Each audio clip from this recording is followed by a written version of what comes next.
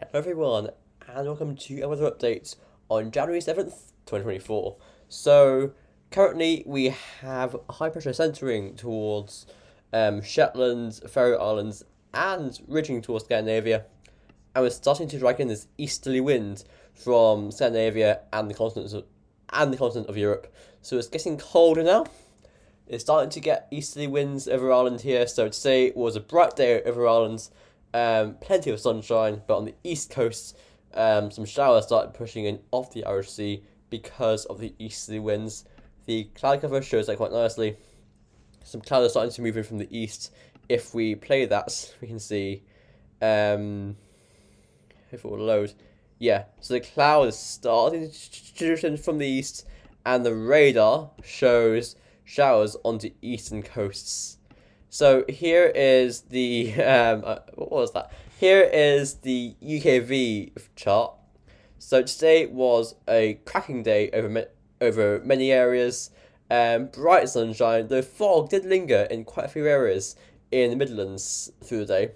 There is a fog warning tonight for all counties because of dense fog becoming widespread, though it should clear from the south and east by morning, as showers prep the coast.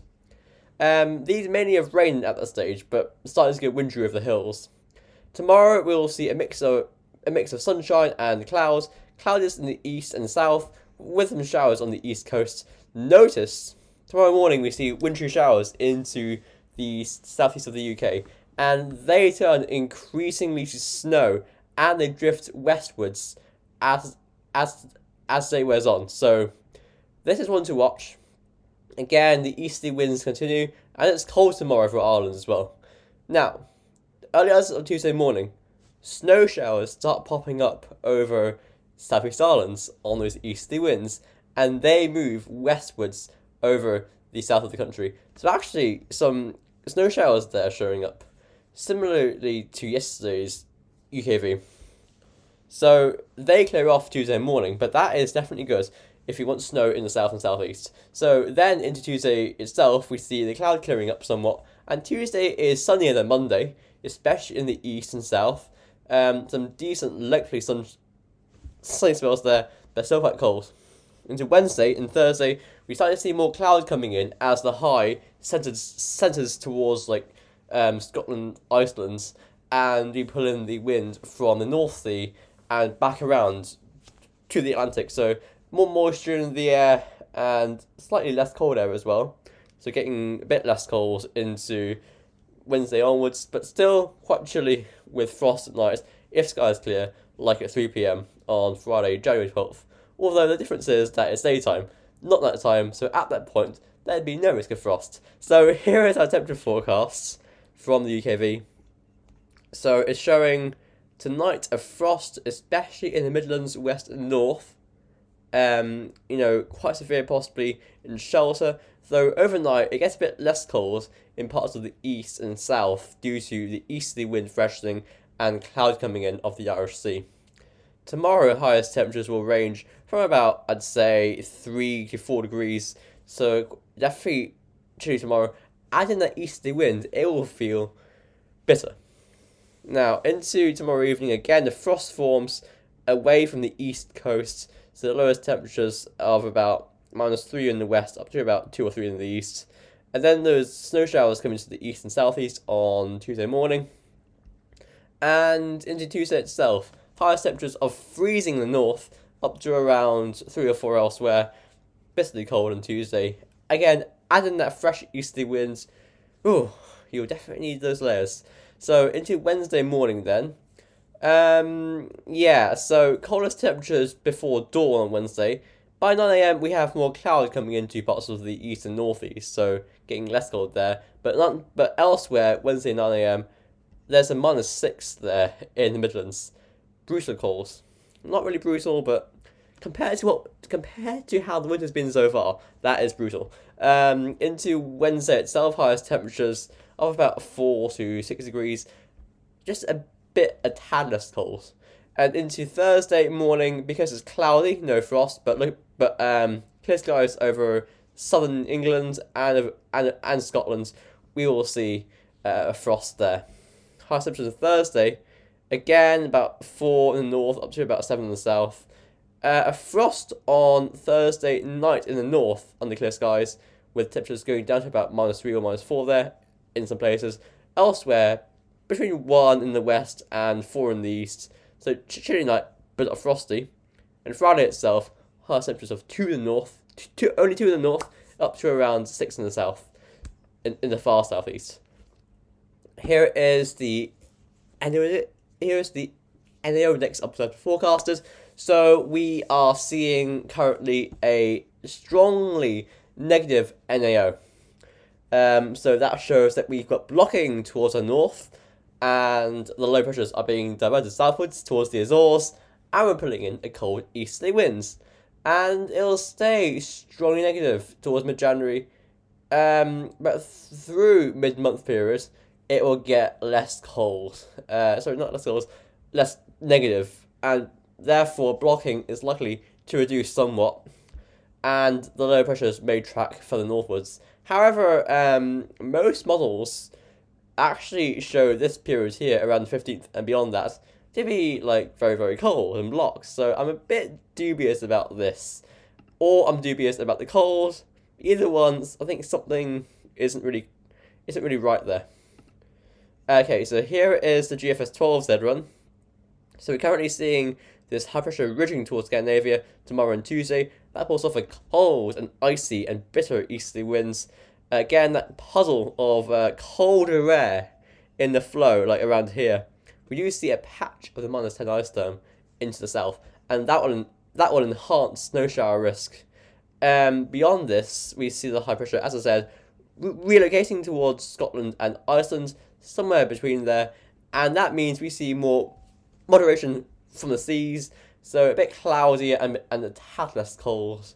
Um, then into the weekend, high pressure high pressure retrogresses towards Greenland, and down comes the northerly winds.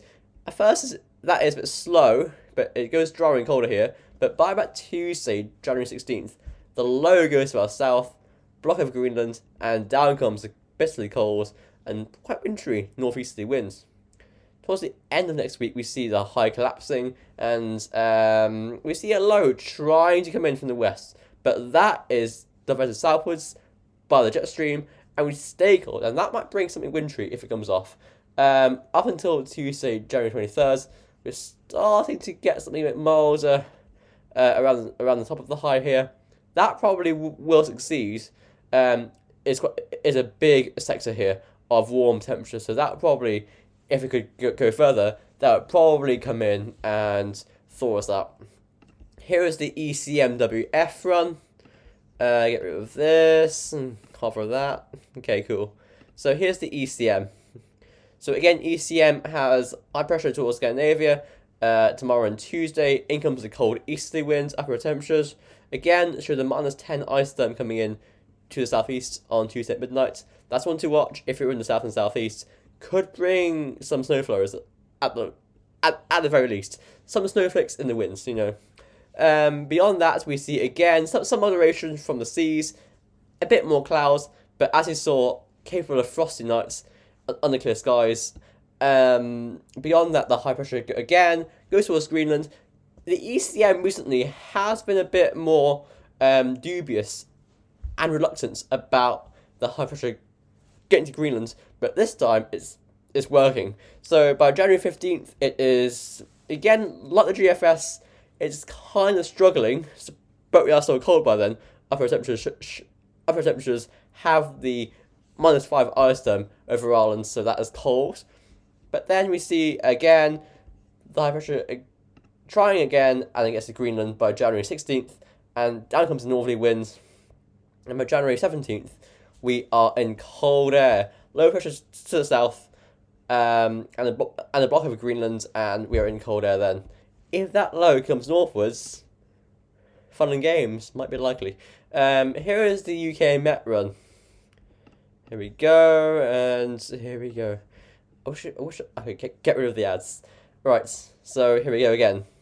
High pressure towards Scandinavia tomorrow and Tuesday. Cold easterly winds and temperatures do show again the minus 10 isotherm over, over the south of the country on Tuesday morning. Beyond that, again, the high pressure centres between Scotland and Iceland, and we see a chilly wind from northeast.